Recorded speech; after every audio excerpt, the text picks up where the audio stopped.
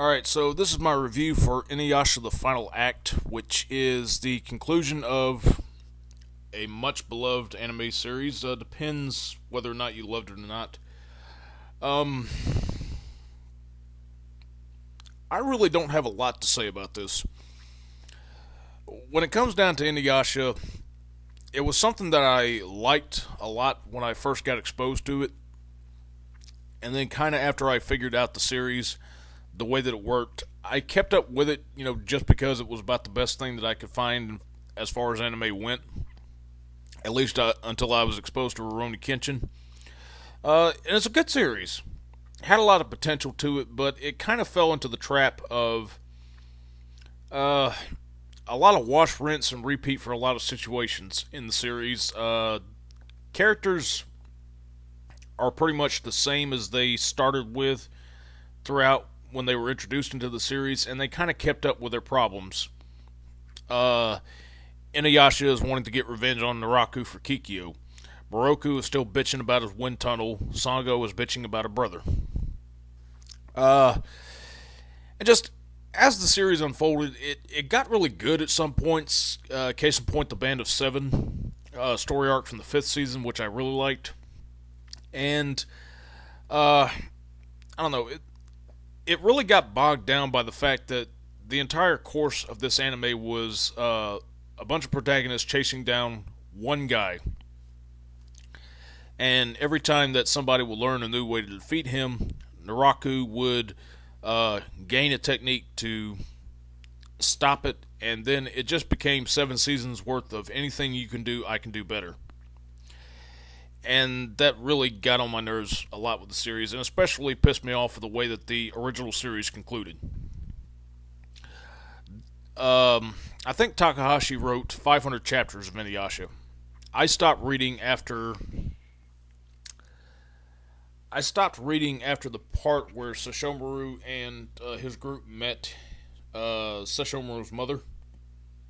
So a lot of the series of the manga that went to the conclusion, I have no idea entirely what happened.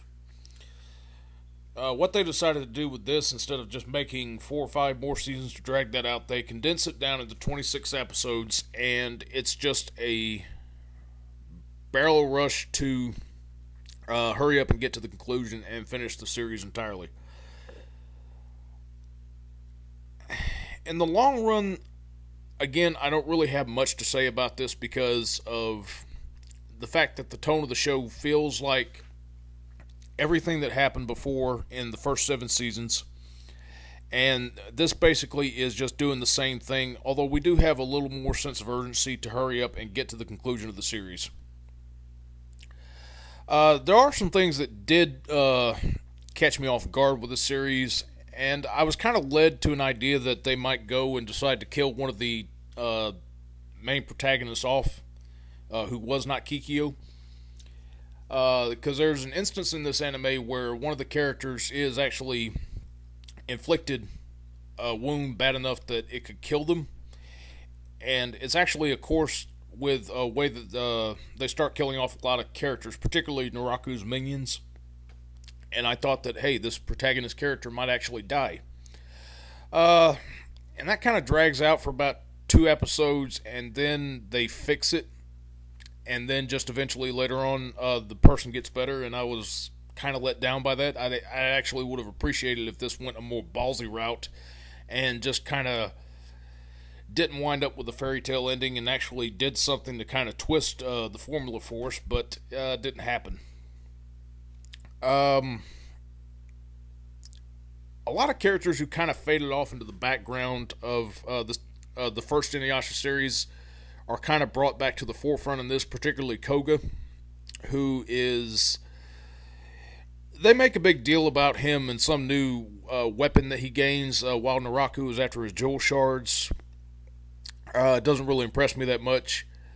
Uh, basically, all this is is just, um, as I said, there's there's not really much to say about this. It's just kind of a repetition of everything that came before, but it just has a little more sense of urgency to go ahead and get to the conclusion of it.